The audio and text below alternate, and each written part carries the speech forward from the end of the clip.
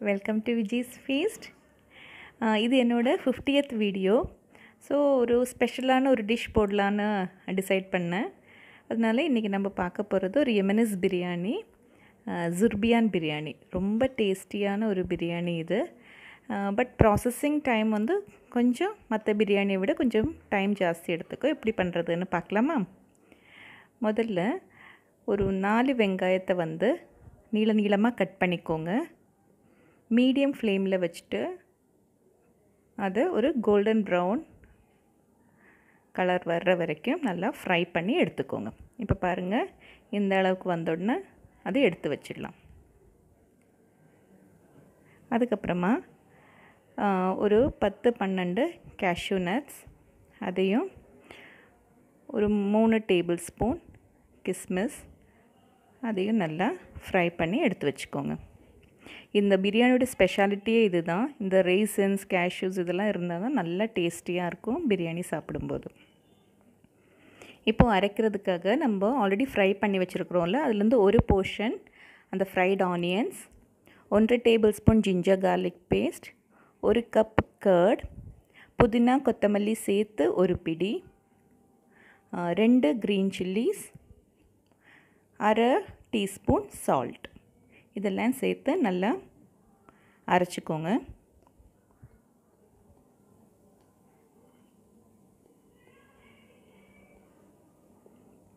நல்லா அரைச்சதுக்கப்புறமா இங்கே வந்து நான் ஹாஃப் கேஜி சிக்கன் நல்லா கழுவி மஞ்சத்தூள் உப்பு போட்டு நல்லா கழுவி வச்சுருக்கிறேன். அதில் வந்து இந்த அரைச்சிருக்கிறோம்ல இதை ஊற்றி ஒரு அட்லீஸ்ட் ஒரு ஒன் ஹவர் சோக் பண்ணும். அப்போ தான் அது நல்லாயிருக்கும்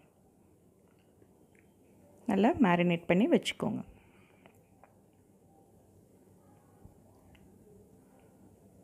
இப்போது இதுக்கு தேவையானது three tablespoon red chilli powder ரெண்டு டேபிள் ஸ்பூன் தனியா ஒரு டீஸ்பூன் பெப்பர் ஒரு டீஸ்பூன் கரம் மசாலா ஒரு டேபிள் ஸ்பூன் பிரியாணி மசாலா கால் டீஸ்பூன் மஞ்சள் தூள் தேவைக்கேற்ப உப்பு. முதல்ல நம்ம எதில் பிரியாணி பண்ணுறோமோ ஒரு அடிக்கட்டியாக இருக்கிற பாத்திரம் எடுத்துக்கோங்க. அதில் ஒரு மூணு டேபிள் ஸ்பூன் எண்ணெய் ஊற்றிக்கோங்க. இதில் ரெண்டு தக்காளி மூணு டேபிள் ஸ்பூன் மிளகாத்தூள் ரெண்டு டேபிள் ஸ்பூன் தனியாத்தூள் ஒரு டீஸ்பூன் பெப்பர் ஒரு டீஸ்பூன் கரம் மசாலா ஒரு டேபிள் ஸ்பூன் பிரியாணி மசாலா கால் டீஸ்பூன் மஞ்சத்தூள். எல்லாத்தையும் போட்டு நல்லா ஒரு four minutes four to five minutes நல்லா சிம்மிலேயே வதக்கிக்கோங்க.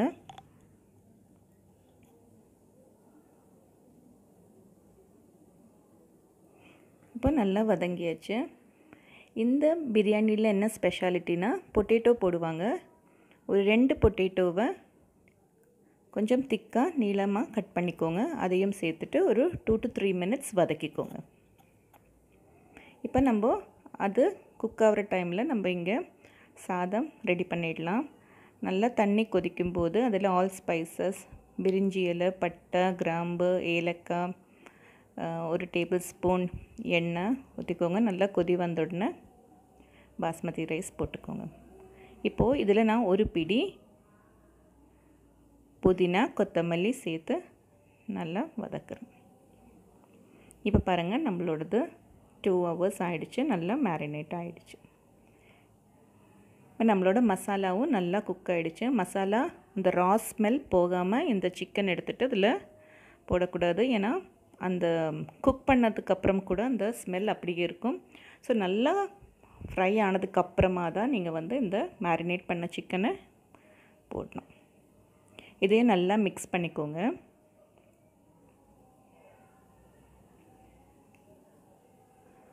மூடி போட்டுட்டு ஒரு two to three minutes cook பண்ணிக்கோங்க.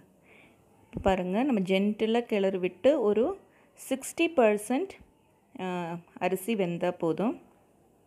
இப்போ இங்கே பாருங்கள் நம்மளோட ஃபோர் மினிட்ஸ் அப்படி ஆயிடுச்சு. இந்த எண்ணெயெல்லாம் திரிஞ்சு வந்துடுச்சு. இந்த டைமில் நம்ம ஆல்ரெடி ஃப்ரை பண்ணி வச்சுருக்குறோம்ல அந்த அதுலேருந்து இன்னும் கொஞ்சம் ஒரு போர்ஷன் அந்த ஃப்ரைட் ஆனியன்ஸ் எடுத்துகிட்டு அதையும் நல்லா மிக்ஸ் பண்ணிக்கோங்க.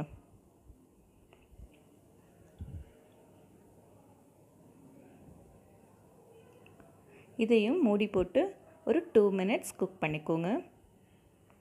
இப்போ நல்லா கொதி வந்துடுச்சு. நம்ம இதில் தண்ணி ஆட் பண்ணலை. இப்போது நம்மளோட ஒரு ஹாஃப் கிளாஸ் நல்லா ஹாட் வாட்டர் அதில் யூஸ் பண்ணிக்கோங்க. அந்த மசாலாவில் ஊற்றிக்கோங்க அது மேலே நம்ம நம்ம வடித்து வச்சுருக்கிறோம்ல சாதம். அதை ஒரு போர்ஷன் போட்டு அதில் இந்த ஃப்ரைட் ஆனியன்ஸ் மேலே கேஷ்யூ ரைசன்ஸ் அப்புறம் கொஞ்சம் கொத்தமல்லி புதினா எல்லாம் ஸ்ப்ரெட் பண்ணிவிட்டு திருப்பியும் அதுக்கு மேலே ஒரு லேயர் இந்த அரிசியை போட்டு திருப்பி ரைஸை போட்டுட்டு திருப்பியும் அதே ப்ராசஸ் இந்த fried onions cashews and raisins எல்லாத்தையும் போட்டுட்டு சிம்மில் ஒரு ஃபிஃப்டீன் டு டுவெண்ட்டி மினிட்ஸ் மூடி வச்சுக்கோங்க. சிம்மிலேயே இருக்கணும். கரெக்டாக ஒரு டுவெண்ட்டி மினிட்ஸில் ரெடி ஆகிடும் சிலவங்க வந்து இந்த மசாலாவை எடுத்துட்டு அதுக்கப்புறமா லேயர் லேயராக பண்ணுவாங்க. அது தேவையில்லை இந்த மாதிரி பண்ணால் போதும். உங்களுக்கு மேலே கொஞ்சம் நெய் அப்புறமா ஆரஞ்சு கலர் இருந்ததுன்னா அதையும் கொஞ்சம் யூஸ் பண்ணிக்கலாம். See after twe twenty minutes எவ்வளோ நல்லா வந்திருக்கு பாருங்கள் ரொம்ப டேஸ்டியாக இருக்கும். நீங்கள் வந்து அந்த லாஸ்ட் மசாலாவில் உப்பு செக் பண்ணதுக்கப்புறம் தான் ரைஸ் போடணும்.